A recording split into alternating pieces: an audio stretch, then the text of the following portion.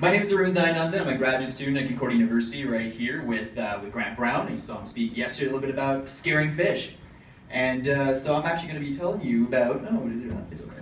I'll be telling you about uh, predation risk in, uh, and elevated predation risk effects on mate selection, female mate selection in Trinidadian guppies, or as I like to call it, Tinder for fish with post-traumatic stress disorder.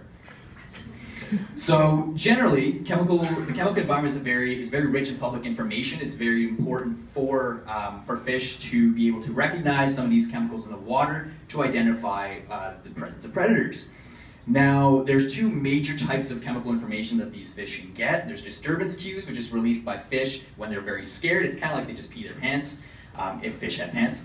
And there's alarm cue, which is actually released when uh, an, an, individual is damaged, such as through an attack by a predator. And this actually is a much more, um, it, it, signals to other fish that there is something in the environment. So this is the highest risk environment you can have. Disturbance cues are a bit of a, a middle ground.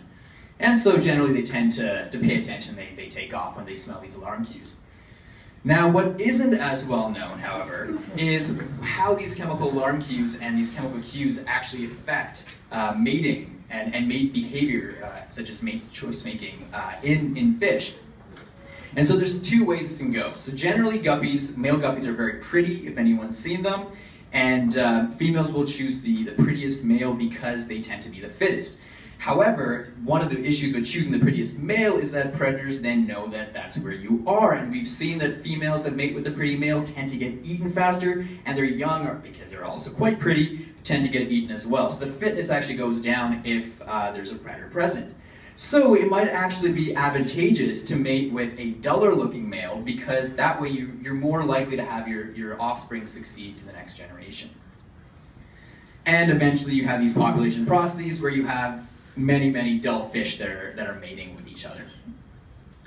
So what I want to see is if I scare one of these female guppies and raise her in an environment where the predation risk is higher, will we actually see um, a, ch a, change in the, the decision-making behavior of these fish in, when choosing a male? And so my prediction was that um, these scared fish will actually choose the duller male um, as opposed to the unscared fish, which will choose the traditionally prettier male. And this is actually part of a much larger project. There's many different components to it, and I'll be happy to talk about that later. Um, come approach me. And uh, yeah, so the first part of this, uh, this experiment was looking at the disturbance cue, so kind of that fish that Peter pants.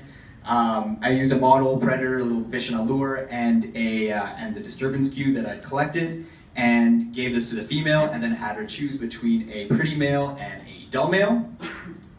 And currently I'm in the process of doing the same experiment but with the alarm cue, so that much higher risk environment. And one of the findings that we have so far is that they will actually choose, um, we, have seen that the first choice that's made, so when they, these females are swimming in the tank choosing between a male, the, the females that are scared will actually choose about two times faster than the unscared female. And this is interesting because their activity level is the same, and we've also seen that their sampling is about the same, so the, how much of a decision they make between the, the two, which is telling us there is somewhat of a speed accuracy trade-off in this first choice. Eventually they kind of make the same decision as the, the non-scared.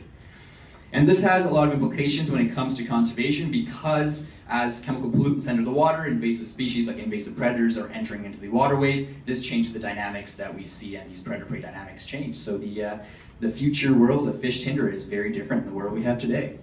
And so with that, I'd like to say thank you very much for your attention.